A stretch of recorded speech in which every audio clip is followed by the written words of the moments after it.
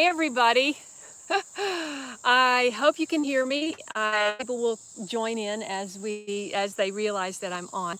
I am coming to you live from the cornfield with my friend Tim Hobbs, who is a. Would you say that you are a hobbyist corn farmer? I'm a hobbyist corn farmer. I'm a master miller, which I raise and grind corn into meal and other products.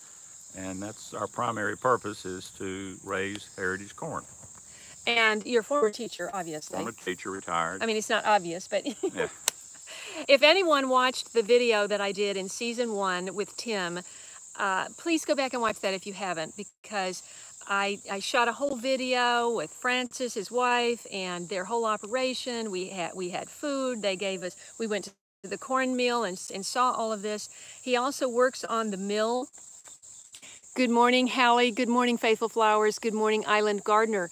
Um, he works on the grist mill and keeps it all going. How old is that mill?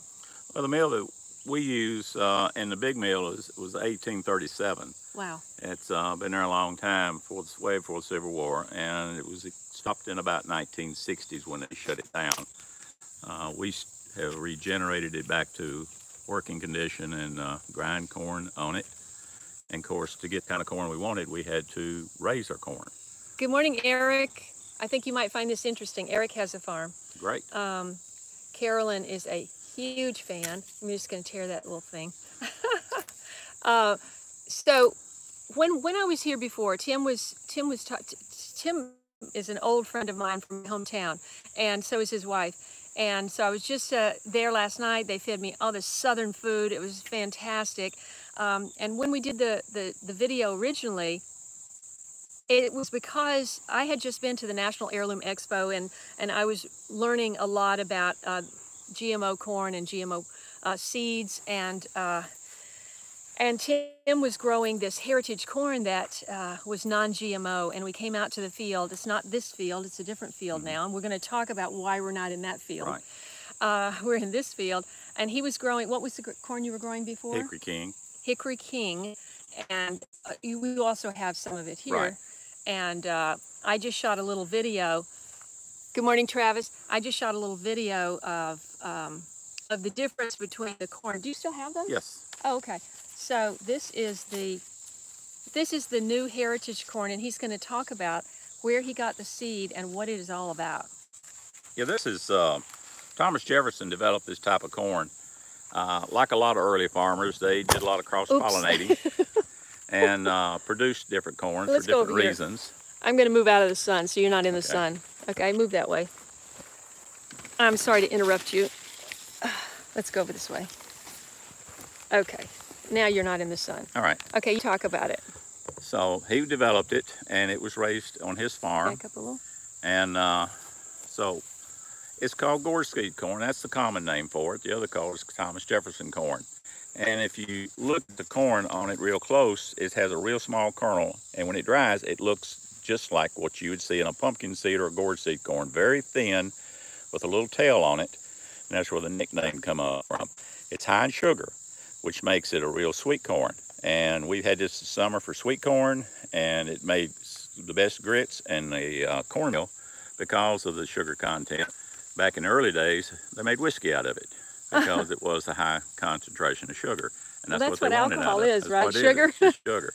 So, and this is what we started raising last year, and this is our first year for. Uh, well, uh, tell them how you got the first little bit of it. well, uh, a gentleman was visiting up in Williamsburg, and they were showing the demonstration about and talking about this corn, and he had a bowl full of seed, and the gentleman there decided that he would take a handful of it and bring it home and planted it, and he started raising enough to where he got enough of it that he could plant a big field of it over years. And that's how we got some of the seed from him. And basically that's what last year we planted enough to get seed to plant this field. This year we're gonna grind some of this. We've eaten it, grind it, and then we'll save enough of it to plant at least five acres of it if it works out good and have more of this particular corn. Well, my understanding was always if you if you were either growing uh, corn for grinding, you know the varieties for grinding, or it was the sweet corn that you eat, the fresh, Mhm. uh, was a completely different variety. But you're saying you get both out of these corns. Right. The early people that developed these corns wanted to raise two types of corns basically. We raise field corn for our animals, which is usually some type of yellow corn, and the white corns were used primarily for foods. So they eat it when it was in the milk stage for cream corn, corn on the cob, and then they'll let it dry in the fall, and then we pick it, shell it, and take it to a mill and have it ground for their grits cornmeal. And tell them about the, the milk stage on the corn.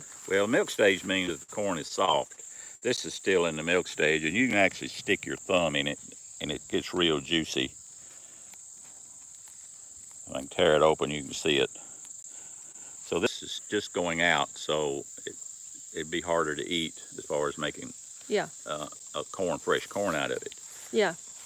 And the other one, This one is called Hickory King, and it always identifies, it has eight rows on it and two spacings. So you see a two ear row spacing here and another two row. This is a heritage corn, and it's a very big ear corn as far as the length of it. And it also is called a flint corn because it is very, very hard. And it made a really good cornmeal and really good grits. So this is primarily what we raised in the South. This is one of the versions that was really important to the farmer because of this uh, stuff that this corn had in it. It had a lot of sugar in it, and it also was a corn they could keep and make good meal products out of. I was just going to say, I saw Carolyn's comment. Yes, I'm sorry, I did not. I had a little live stream yesterday saying where I was going to be today, and I did not mention that when we started. We are standing, and I'm sorry, we are in a cornfield, like I said, and I'm trying to hold the camera, the, the phone. We are in Bon Aqua. Show them your t-shirt. I love Bon Aqua. And it is a beautiful community in uh, Middle Tennessee. Um, in we're in Dickson County right Dickson now. County this right now. field is in Dickson County, and we're also in Hickman County. But uh, tell them about Bon Aqua, Tim. Bon Aqua started out as a word. Bon Aqua means good water. There were sulfur springs there. They came out in about the 1860s, and they built three hotels. The first two burned. The last one had 105 rooms, and people would travel in by train and spend the summer there to drink the water to cure things like kidney stones, bladder problems, liver problems because of the sulfur in the water. And as travel came more popular, cars came about, the business of being able to travel by train went down, and the hotel kind of fell into despair, like a lot of them in Middle Tennessee and other places did. Yeah. Is that why I noticed even in your house when I turn on the water, it smells a little like sulfur? We have sulfur in our well, Oh, okay. yeah, so we don't, uh, we can drink it, and it's not as strong as the what was there at the springs in Bon Aqua, which is just a, uh, probably half a mile from our house. But uh, we don't use it for nothing but uh, for yard work, washing clothes, and our other services. We get all our water out of a spring that's been on the property ever since uh, for the past 300 years when people settled there. Well, if you go back, and I'll post the link when I get back to wherever we're going. Uh, we stopped by the spring. I mean, I mean, we stopped. We went up to the creek where they get their water, and uh, you could see, and they and they actually have a cave there beside the creek, and that's what they used as their refrigerator, right? Right. And you that- said it's always 55. It's always 55 degrees in that little cave. It's called a, a blowing cave because it's got a vein of air behind it and the water sources behind it, so it blows out 55 degree cold air, and they kept it as their refrigerator. They would take and put their milks and stuff in there to keep cool, and then in wintertime you could go in there and it's still 55 degrees. So it, uh, it served two purposes. Uh, one, if my dogs, when they get cold, they go in there and, and lay in the cave when it gets real cold. Yeah, yeah. Well, um, why, why don't you tell them? Let's move a little bit more. I want you in in the shade. Uh, tell them about when you're when is this ready for harvest and and what happens then? Well, it'd be about the end of October, first of November. We have to have usually two freezes on our corn. What that does is dries it out. It pulls the moisture out of the corn. Uh, most farmers that are row crop farmers are starting in a lot of places already shelling their corn. They'll take it and put it in bins and they'll put dryers and heat into it to dry the moisture out of it. We don't. We let ours feel dry. And that makes, we think, for a better product. We try to get it down to, to 10 or 12 percent. And that's good for grinding because if you don't have it where it's uh, percentage low, it will clunk up, and that's not a good thing. So we'll let it drop. It's not turning over, falling over yet in the ears, So it'll be end of October, November, and if winter doesn't hit us yet, we'll still let it sit here until we get what we think is uh, enough dry in it, and we'll check it with a meter to make sure that it's dry enough, and then we'll harvest it. Well, uh, I, f- I found it interesting because I never knew, even though I grew up in, in Tennessee, I, I never and ate a lot of corn. I never knew the difference between um, how you, uh, what was the difference between grits and cornmeal that you made cornbread from because we always ate cornbread. And cornbread, if you, if you're, there, there's a lady here that's tuning in from Saudi Okay. Arabia. So she may not know what we think of as cornbread, but it, it's cornbread is a batter bread that you just mix up with egg and milk and cornmeal and and, a, and some kind of rising agent, and you, you you cook it for like 30 minutes, and you just eat it hot, and it's delicious. And uh, but then grits is something that people eat as almost like a porridge it's not that liquid, but you, it's a side dish, and it's but it's just like creamed ground corn. So when when when he showed me the mill originally, the only difference is the the uh, sifter. The that right? the process, we use different screens to sift out different products. We take a coarser screen to take the grits out and a finer screen to take the cornmeal out. And then the cornmeal uh, is used for that purpose. And then the grits can used to be used strictly for breakfast food forever uh, until about 10 years ago when people discovered grits again. And now it's used a lot in the South for dinner foods, shrimp and grits and all kind of other things can be made out of it. People make a, a breakfast cake out of it. They mix it, put bacon and eggs in it, put it in a chafing dish, put it in the refrigerator, cut it out in the morning, put it in the microwave, heat it up a little bit, and that's a, a great way to eat it also. So it's a good way to get uh, different products out of the corn as far as sifting it out. We also make a corn flour, which is again is another sifting process, and polenta, which is a real fine grit that a lot of restaurants use. Uh, oh, like polenta? Polenta. Oh, okay. Oh, yeah. Oh, okay. So that's just a finer version of cornmeal. Oh, fantastic. Well, I just want to turn the camera around for a second so that you can see uh, what the cornfield looks like. So this is over here. We have the um, this one, right? The uh, what's it called? Hickory King. here we have the Hickory King. It, it looks very similar to me, Tim. I can't really see the difference. And then uh, over at the end, we have the other. Now, does it matter that this side of the field is getting more shade, or does it even out during the day? It evens out during the day because the east is and the west is over there, so Right. it goes across the field. And go over there and show them the weeds and talk about the weeds a little bit. Well, we we have weeds because we don't use chemicals, and we use very very limited amount of uh, anything else, which is fertilizer. We hope the ground is rich enough, and it has been for 50 years because of row cropping changing the, what we do in the soil, and uh, so it's pretty well almost a corn that uh, has very little put into it to uh, keep it and, and make it grow good. So that's why we have weeds. We don't use chemicals.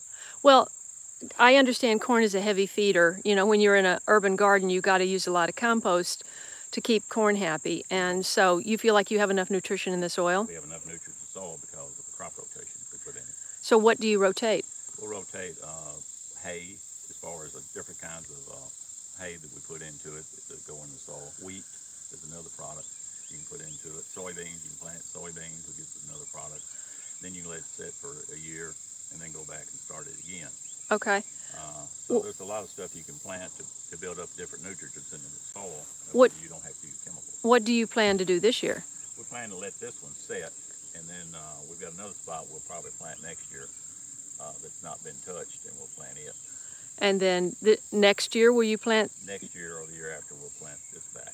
Well, Amal is asking um, from Saudi, do you, do they cross pollinate? And I had asked you the same question. They would if we plant them at the same time. Uh, these are both 120 day corn, which means when you plant it, it takes 120 days to mature. Uh, like sweet corn is only 90 days. But what we do, we plant them at different times. So they pollinate at different times. So that's why you can plant them next to each other and don't have to worry about that cross pollination. And do you get enough wind and rain to take care of the pollination? Yes. Yeah, we do. We get plenty of uh, rain this year, and that's that's one of our biggest things that, that pollinate it. And we've had good rain this year, and we've also have enough wind in this little valley here that does it. Uh, and we've had an issue with that one year, and we had to put sprinklers up in the air to spray water on the corn when it was during that process. Oh, I remember that. And we were the only ones in the neighborhood that had corn. Uh-huh.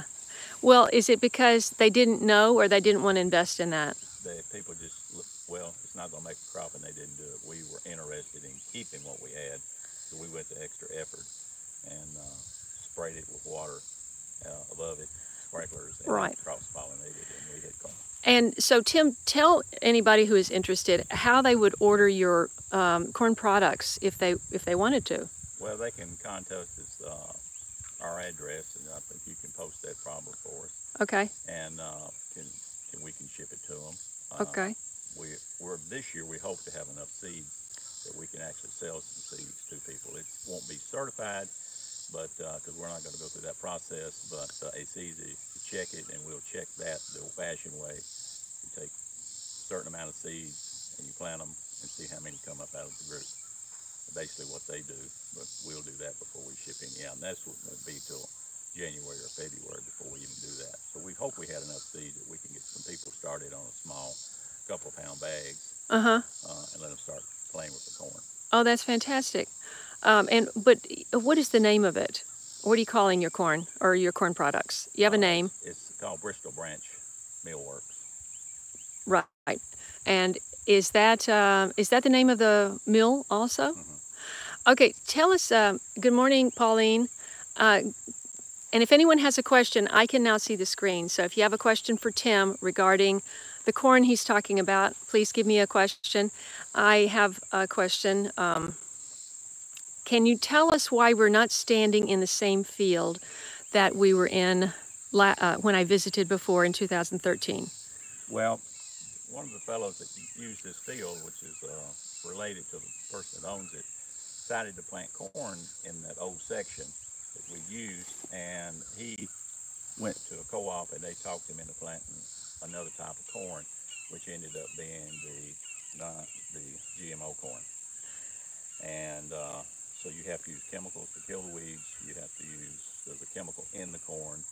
Uh, they use it for alcohol basis, and that's what farmers raise it because it's a high yield crop. But we can't use that field, for corn back in it for at least three years. Wow. The chemical gets out of the ground. Right, right, It'll kill, it'll kill this corn. right. Um, well, does do would you say he regrets the decision now? I think he does. He didn't know. He was one of these, he wanted to get into it, the farming, row cropping, and uh, did it, and then found out that he shouldn't have done what he did. Well, when you say alcohol, you're talking about the, uh, the alcohol for Yeah. for Fuel, for fuel. the natured alcohol, Okay. ethanol. And how many acres of would you say? Do you have any idea in this country how many acres are put into that kind of ethanol growing? I'd be afraid to guess probably millions of acres. Yeah. more than what they, they use in fuel. And that's the bad thing about it because it goes into the animal feed. Right. Talk about that a little bit. Well, animal feed, is chicken, of course, the cattle and all that are eating that corn, that same chemical stays in that corn. Uh, people have heard of Roundup Ready.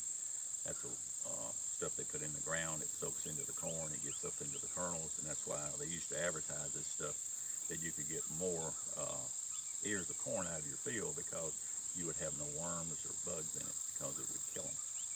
Right. it's still in the grain. Right. Right. So you're determined to keep this uh, tradition alive. Right. Right. That's fantastic. Um, does anybody else have another question for? Hey, Steve, how many acres of this corn to fill the needs of a family harvest to harvest? Yeah. So if somebody wanted to get to order your seed and and just for their own family farm, uh, how how much uh, how many rows would they have to plant in order to? Well, of course, it's depending on if they're just going to use it for sweet corn, then they can plant uh, a pound of it. If they're going to use it for other purposes, then they maybe need two pounds of it, Right. you know, to get what they need out of it. Right. Right. And how many? How how much would two pounds plant? A half an acre, an acre? I have yeah, quarter of an acre. a quarter of an acre Yeah. for two pounds. Okay, but it, it seems like a quarter of an acre for um, a family who is not selling it, Right. pro- making products to sell would be plenty. Good morning, Tracy. Uh, Tracy, do you have a question for Tim? about corn. Tracy has a family farm in Pennsylvania, Okay. and she's one of my regulars. Um, let's see. So, you you talked about you know the the my, my understanding is that even with the Roundup Ready, it's the, they still get uh, uh, super weeds and super bugs. Is that happening? Well, the Roundup Ready keeps the weeds down in that type of corn. And if we were to use this, spray this like they do, uh, this corn would die because corn is actually part of a natural grass. It's got, got grass in it, family, and it would just kill it dead. So that's why they modified the corn so they can use the chemical to kill the grass and not kill the corn. I see. Wow, that's complicated. Uh, they went to a lot of trouble, They went to a lot of trouble. a lot of trouble and expense, which is why you know they want to get their money's worth out of it, I guess. So uh, you're not aware of what these weeds, these particular weeds are. No. This one's Somebody blooming. probably knows. This is pl- blooming right here. That's a Oh, wait. morning glory. Oh, oh, oh. That the morning glory is on this other thing. Mm-hmm. The morning glory is wrapped around this thing, right? Yeah. Oh, okay. So the morning glory is just a little vine. So, so they uh, it looks like they coexist nicely because you got you got a lot of nice corn, right? And we've got some pretty flowers. And you got beautiful flowers. So you have your pollinators. You don't need pollinators for corn, Right. but uh, to grow corn, but you need pollinators for every other reason. so, does anybody else have a question for Tim?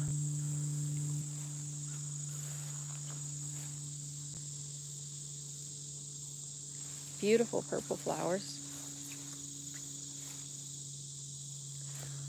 So this is just an kind of a view of what's behind us. Hey Carolyn, do you have a question? Isn't this beautiful here, everybody? Tim wants me to move down here. Tim and Francis do. Uh, Nunu, good morning, and Tim. She says thank you for bo- thank you both for this. Um, Nunu, do you have a question for Tim? Tim, can you think of any other uh, inf- uh, good information that uh, would be helpful to people? Well, Come over here so that If- you're not in the sun. if they get any of this corn or want to plant any of it, and you can buy it online, uh, especially the Hickory King, uh, you have to plant it about six to eight inches apart because it is a big stalk and it requires a good space. It's a big root ball, which the newer corns, they're planted within an inch apart.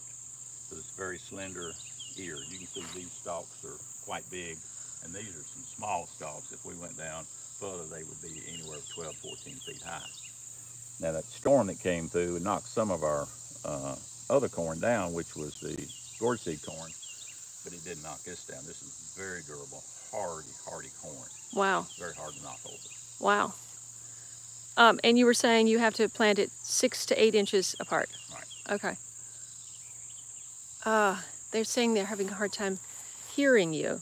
Um, uh, well, you just repeat what you just said then um, about how, how you plant it. Planted about six to eight inches apart.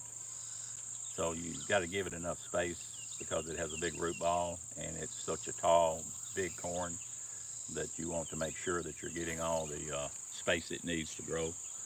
Uh, the newer corns, you can plant them an inch apart because they're very small stalk and they don't require a lot. Uh huh. So, but these require more. Okay.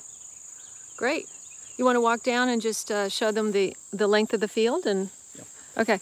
We're just going to walk down and, and take a look at the length of the field. I'll get that. Okay. Why don't you go first, Tim?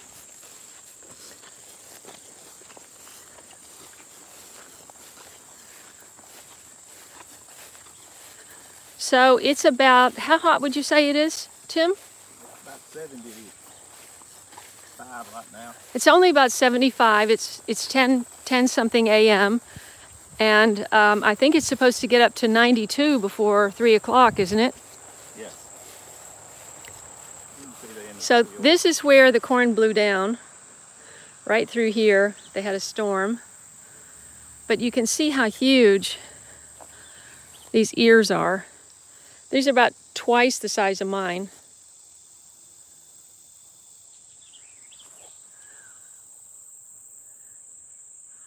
or bigger. And you hand pick it all, right? We hand picked all of it last year. Uh, this year we'll combine it. Oh, really? Uh-huh. So you've got a big combine? Yes, we got a two-row combine. Two row. Okay. Not one of those humongous things. No, no, we could turn that thing around in the field. And so what does the combine do? It just uh, strips the ear off the corn and then shells it. Oh, oh well. Uh, I, I, I almost got that message read, but I didn't get it read because it's on my cell phone. Uh, I'm sorry. Uh, so it's, I'm sorry, you said it's what? It, uh, it does what to the, uh, to the two rows? It, does, picks the two rows at a time. okay. And, and it just like mows it down? Uh-huh. It cuts it off at the ground and then runs it through uh, a gathering system and then it strips the ear off and then it shells the corn off of the ear. Wow, it does all of that. Uh-huh. One process. Wow, I mean, I knew the big farms had that, but I didn't know you did that. Well, that's going to be a lot easier for you. I mean, you're not a spring chicken, neither am No. I. oh, wow, there's a lot blown down. So I understand when it's blown down, there's it's called something when it's blown down, isn't it? Does it have a name? We just call it blowed down corn. Blowed down corn. As long as it stays off the ground like it is here, it'll pick it. He said as long as it stays off the ground, you can pick it, even if it's bent over, because it's not broken, so it's still getting nutrients from the stem. Okay. But if it if it if it if it snaps down here, you're done, right? Right. Okay.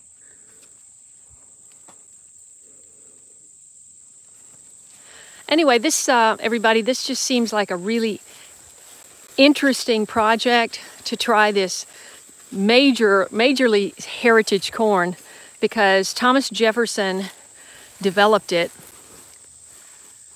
Do you till the stalks under after harvest? We do what? Till the stalks under, till the ground. Yes, we leave them in the ground and, and till them under. That puts nutrients back in the ground. Yes, they do, Carolyn. Uh, um, yes. It's, it's, I'm sorry it's hard to hear, guys. I'm just on my cell phone and I don't know what to do about that. But um, uh, he says it's, he's tilling it under the ground and it puts nutrients back in the soil. So, yes, they do. Now, have you ever considered just leaving it laying over? Or uh, the machine does too much of the processing? It processes it and chops it up. processes and chops it up. Okay. Well, chopped up is going to put nutrients back into the soil faster, right? Now look at this. Yep. So what would this be? Is that the worm itself is- right there? And actually, it's a worm come out. That's actually where a crow got into it. Ah, crows attack it. Yeah, they're strong enough that it'll hold a crow and they'll eat a spot in it.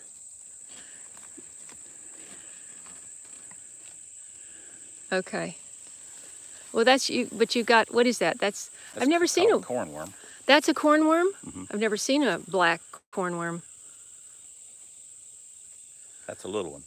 Oh, how big do they get? Oh, they get pretty big. You mean the the big ones that you see at the top when they're Yeah, they're all eaten they're kind of gr- Mhm. gross oh, okay They so that's a that's just the larval stage Right.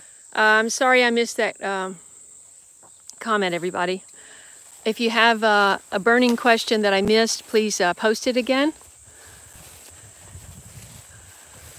i mean you've got a lot blown down here Yeah. look at that what is that sound that we hear that pee pee pee pee Locust. that's a locust. Okay. That's what I thought.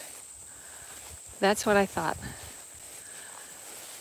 So we've only got an acre here of both varieties com- combined, right? Uh-huh. Okay.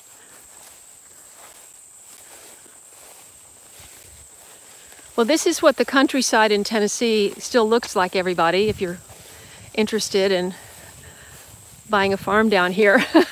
a lot of people are doing that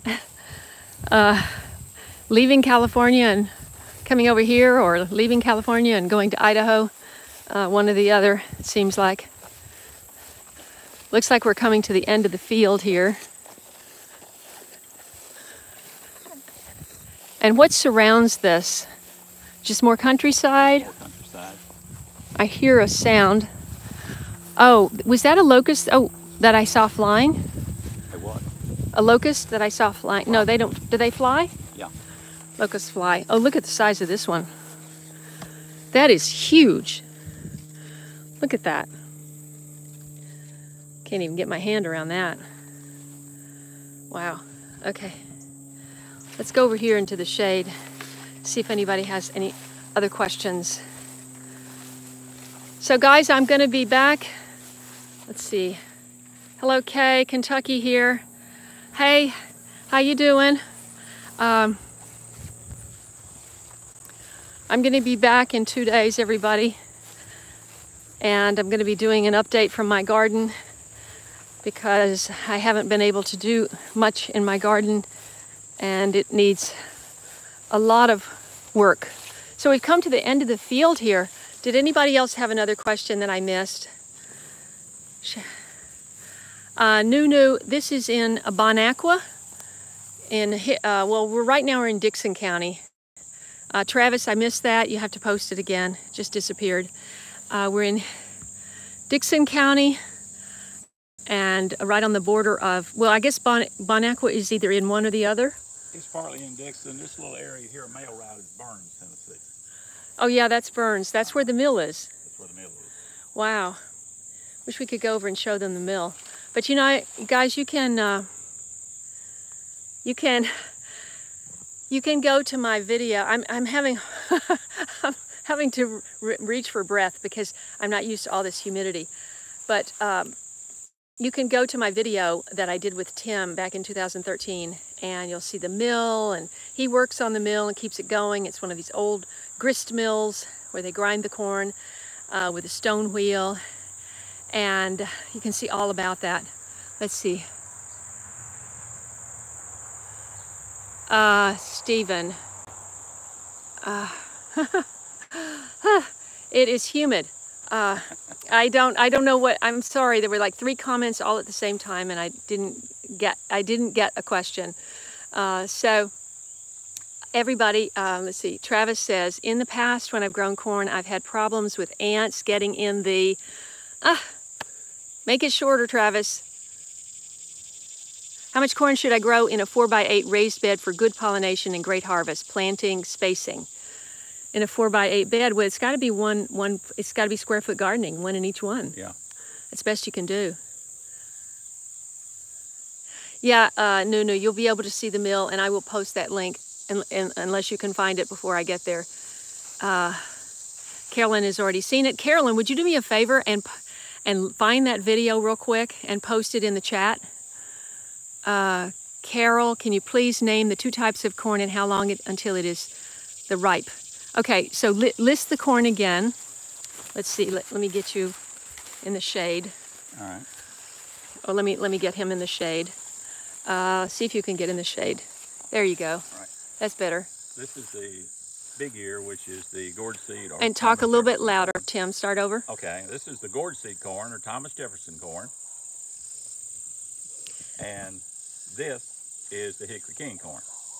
Hickory King and Thomas Jefferson, right. or the gourd seed. And the reason that they call this a gourd seed is because you see it's pointy, and when you pull it out, there's a little tail on it, and it looks like a gourd seed. So they developed this, uh, Thomas Jefferson did, at Monticello. Right. And in um, and and you got it. Tell us again how you found it. a fellow from East Tennessee picked it up at Williamsburg. They were showing it and had a bowl of it, and he got some seeds and brought it back and planted it, and over several years had enough to produce a small crop of it, which ended up at a mill in East Tennessee at a friend of mine, and he got me some seeds. And when you heard about this, did you just say, "Oh, I got to try that," or I have to try it? and why? Why did you want to try it? Well, the name of it, for one thing, was developed by Thomas Jefferson, and after doing a little research with people that had had some before and said it was probably the best milling corn and eating corn. I'll hold it. Let me okay. hold it. So we uh, we had to have some. We've eaten it sweet corn, which is fantastic. Uh, we have not tried it yet as milling corn because we haven't had enough of it until this year. Yes, uh, Sher- Shirley. Yes, we know that. Uh, he that's what he grows here is um, corn for grinding or field corn, as uh, people call it, field corn. She said Hickory King is field corn, and but you do occasionally eat it sweet and fresh, right? Right. Yes, Hickory King. Uh, Daryl, you can get their products. It's called Bristol Branch.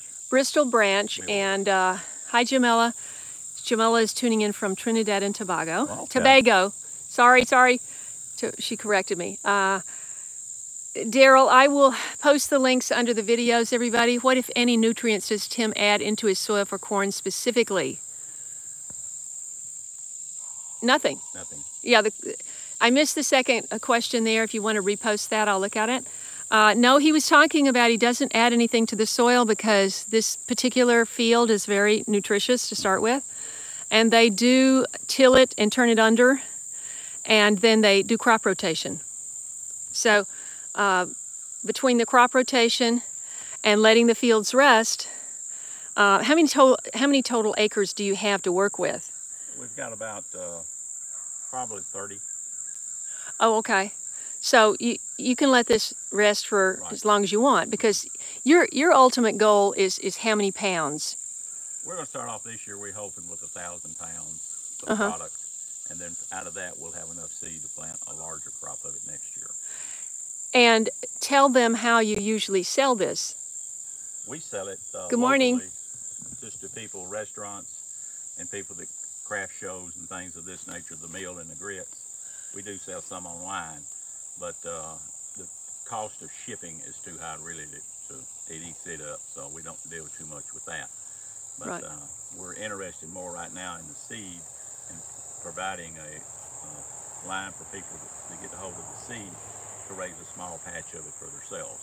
Now, if you guys all heard that, he's they're more interested right now with the uh, gourd seed corn, the John, Thomas Jefferson, to uh, produce the seed to sell so that other people can try it and keep the line going. Because this goes back to uh, someone was just saying I did the, the the I see the the questions for like three seconds. So I saw your question. In my youth, Hickory King was picked as soon as it was ripe, and I missed the rest of it. Um, probably because they dried it inside or something, right? Well, they ripe actually means it's in the milk stage. Uh, they used it probably eat it for sweet corn, and then the rest of the corn they let it lay until it got uh, dry enough to where they could harvest it in the fall. R- People didn't have combines back then; they just hand picked everything. Right. And he said, How do you harvest uh, the seed for saving? We do a combine, then we'll clean it, separate it out, and so we've got a, a clean corn, and that way there's nothing else in it. We run it through a seed cleaner. Somebody said Silver Queen is the best they have ever eaten, but is Silver Queen a, a, It's the sweet corn, a sweet like sweet corn. Yeah. Uh-huh. And that's not what they're doing, Sherry. They're uh, because uh, Tim, I know you came in late, but Tim, his hobby really is uh, because he's a retired school teacher.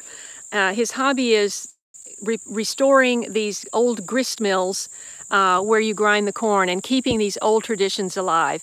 And I have a video that I did with Steve in 2000 with uh, with uh, Tim in 2013 and we went to the grist mill and he showed me uh, the mill and where they grind it. And it's it's the old traditions. And i think the video is called keeping the old traditions alive. Sorry i missed that question. Uh, you'll have to repost it. I literally see that for like three seconds so if, if the question is longer than like six words i miss it so uh, let's see he says i asked to eat butter and sugar corn when i was a kid in connecticut oh i used to butter and sugar corn. Have you heard of that one? No. Okay. Uh, let's see. Yes, thank you, Christina. How much corn is lost if growing the corns? Okay, that that question was too long. I didn't get to read the last part of it. Um, will you link that? Yes, I'll I'll link that video when I get done. Uh, when I get back to uh, connectivity with my laptop. I'll do that. So it, if there are any other questions, just uh, make make like a six-word question so I can see it, and I'll have Tim answer it. And otherwise, we're going to go ahead and sign off. and uh, head back to the house.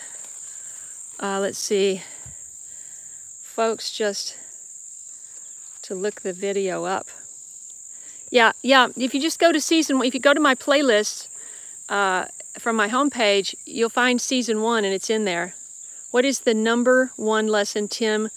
Okay, guys, if it's more than six words, it's gone. I can't read the whole thing. Put it back on there.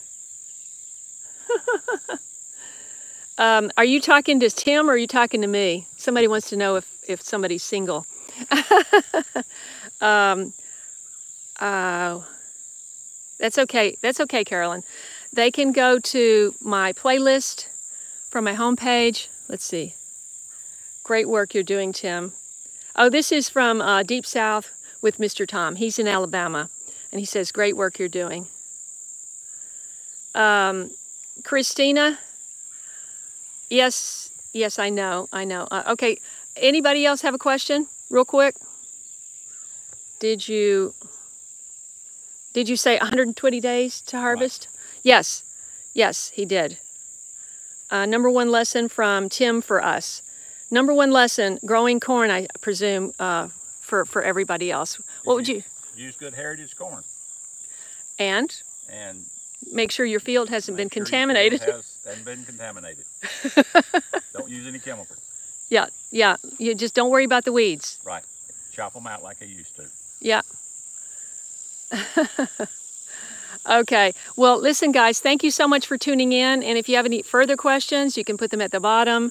Let's see, how long has Tim farmed this field? Oh, yeah, this field is new, right? Right. We've done this in for three years. Three years. Yeah, we were saying earlier, Stephen, that uh, the field that he did uh, plant on, someone in that family used it and put GMO seed in there, so they can't use that for a while. He learned his lesson, and so they're going to be back to that field maybe in three years or something. You think three years is enough? We'll test it and see. Okay. And how do you test it? Just plant some corn in it and see if it'll come up. Uh, Amal says, thank you for the information, Tim. And thank you for doing what you do. And um, you guys, um, thank you for watching my videos. And please remember to hit the like button and uh, let me know if you enjoy videos like this where I interview people that know more than I do about stuff, about growing stuff. And uh, we'll see you all later. And I'll be sure and, and watch the chat and, uh, and check back underneath the video and I'll try to answer any questions that I missed. Okay? Thanks so much, guys and this person says it's gone. oh, why doesn't why don't they leave it up for three? Thank you for the tour. Okay, thanks so much. All right, we'll see you guys uh, uh, from Los Angeles soon enough. Uh, what kind of corn? Yeah, that's all in the beginning. All in the beginning. The two kinds are Hickory King. Hickory King and, and Thomas Jefferson. Thomas Jefferson gourd seed, gourd seed corn, like a gourd. It looks like a gourd seed, and that's why they call it that. It's very unusual. I've never seen anything like it. Okay, guys, thanks so much for tuning in. And Dubai, thank you so much for from Dubai. Oh, wow. Can you imagine? And uh, I have a lot of Indian friends as well. I, I, we probably weren't on long enough for everybody to catch on.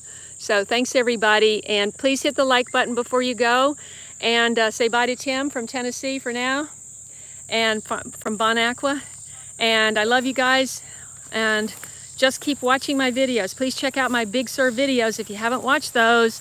I need more views on those videos, so I really appreciate you sharing them. Take care. Love you. Bye.